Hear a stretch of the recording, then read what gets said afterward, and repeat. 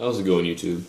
Today we'll be doing a review on um, a couple of gas masks, actually. Um, I'll be doing the review on the Canadian C3 gas masks. Yes, I said gas masks because there are different versions of it. Um, there's the standard version that everyone's known to see. The side-loaded 60 millimeter filter with the really awesome looking exhale valve. Then there's the, oddly enough, much lesser known in an ironic sense, the 1988 export model. and yes, I said ironic because this was the model that was meant to be sent out to the world. Um, when in reality, most people have the original. There isn't much of a difference, but um, as you can see, for one, it's the exhale valve is a lot different. Sticks out quite significantly more, while the original does not. It has the exact same head harness, the exact same filter, um, you know, the exact same eyepieces. But I'll get down to some of the differences here. For one, the well, let me start with the original. The original is a nice, soft, uh, matte material, which is very flexible, um, not particularly stiff, but it does have a very, you know, it's the same exact oral nasal cup, very comfortable. So if you don't have a uh, C3, let me state now that they're probably the most comfortable gas masks ever. Easily. Like, most people don't have one of these. Most people don't know. Like, they're like, oh, the, uh, the Avon S10 is the most comfortable, or, uh, whatever, whatever they're fancy. Um, but I have an S10, which I'll do a review on eventually, but it doesn't even compare to the comfort level of the C3s. The only discomfort about these masks is that they're 60 millimeter, so the filter is heavier and you can feel the difference on the side, but it's still far more comfortable than any other mask. Anyway, but like I said, a few notes that I've gotten off track. Soft matte, different uh, different uh, exhale slash voice diaphragm, um, same everything else.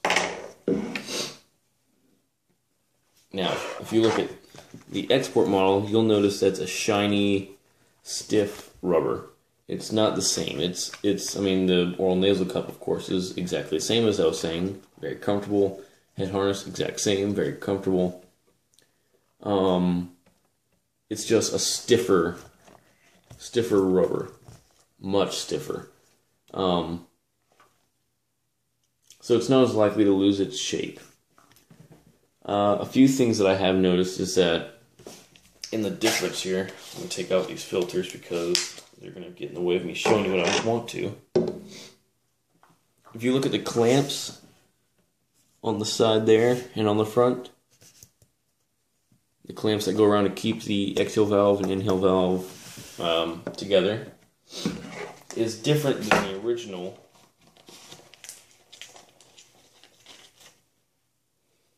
Um, because the original one has what looks like, you know, it looks like just a wire material.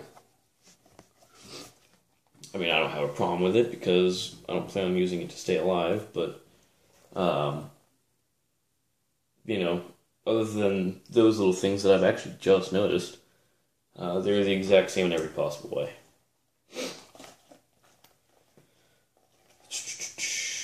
See, what else can I say? Oh yeah, let me get onto this head harness here. This head harness is very comfortable. It's a um, it's a vinyl material with uh, all elastic six point head harness straps. Uh, same with the 1988 export model. Very comfortable, fits very flat and comfortably on the back of the head.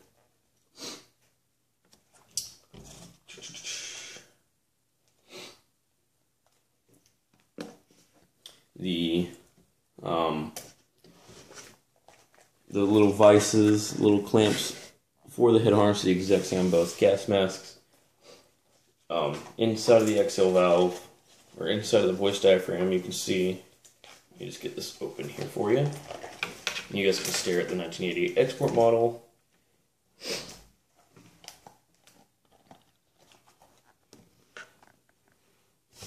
See, it's just like a wire material in there. Just trying to get the light in there so you guys can see it. Let's see. You guys kind of get the point.